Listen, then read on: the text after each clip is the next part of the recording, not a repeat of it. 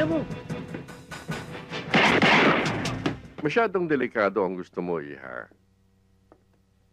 Hindi pambabae ang trabaho sa Intelligence Division.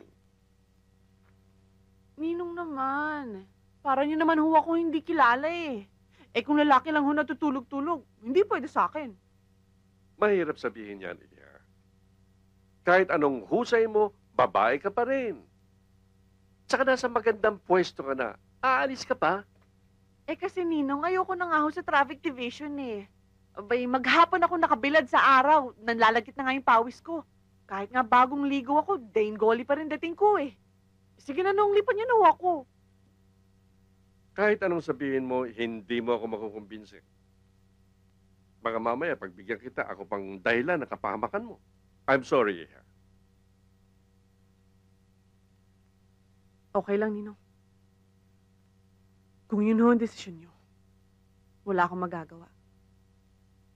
Alis na ho ako.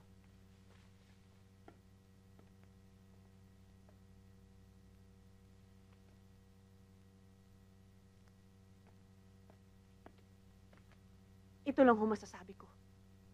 Malalim ho ako magtanim ng sama ng loob. Habang buhay kong hindi binabatin, pinagtatampuhan ko. Ha? Totoo yung ninong. Ito ho yung search warrant na in-issue sa akin. Sit down.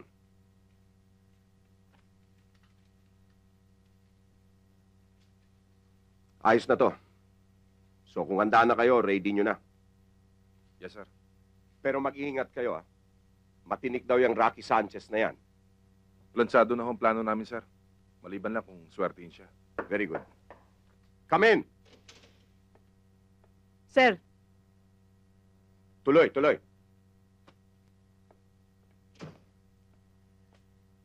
Siya si SPO2 Santarina. Santarina, this is Inspector Gomez. He will be your immediate supervisor from now on. sir, Kilala ko siya, sir. Santarina will augment your present force. Nirekomenda siya ni Colonel Peralta. She's a well-trained police officer. At mataas ang IQ niyan. Mapapakinabangan mo sa mga operations mo. Okay lang, sir. Para may muse kami. thank you, sir.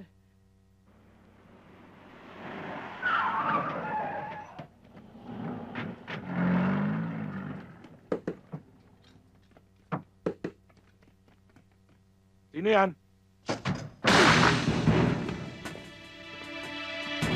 Ano? To! Mr. Sanchez! Mr. Sanchez! Ah, bakit? Pinasok tayo ng mga polis! Huwag niyo sila papapasukin! Itapon niyo lang kay Pectos!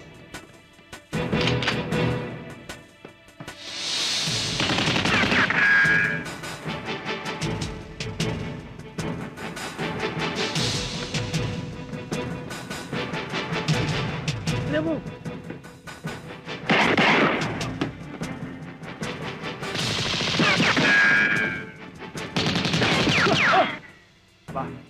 Sobrang tapang kasi. Santalina, sugod ka kasi ng sugod eh. Mabuti pa magsiksik ka na lang sa sulok at baka madisgrasya ka pa, mag-obserba ka na lang. Baka magisagot yung pakitas na nanay tatay mo.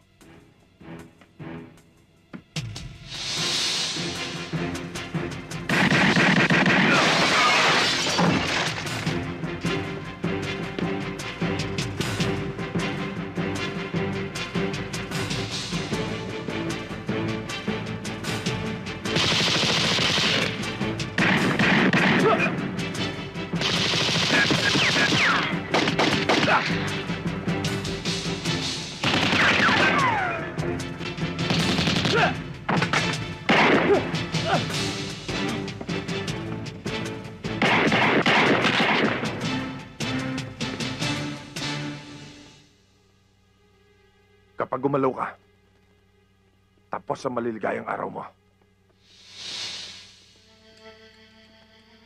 Sige! Bitbitin yan! Sige. Yung mga ebidensya, nakuha nyo ba? Wala ho, sir. Eh. Palagay ko na dispatcha nila. Dispatcha? Wala talaga kayong makukuha. Pagsisisihan mo itong ginawa mo to. Dali sa baba.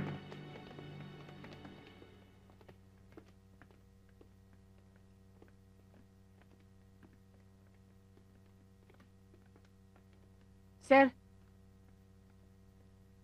Sir, parang hindi ko nababasa sa libro yung ginawa nyo kanina. Ni hindi nyo binigyan ng warning shot yung tao bago nyo binaril. Bata ka pa sa serbisyo. Marami ka pang hindi alam. Anong ibig mo sabihin, sir? May mga kriminal na madaling takutin. At may mga kriminal na hindi pa huhuli ng buhay. Sila yon. Sir! Si Corpus, may tama! Corpus!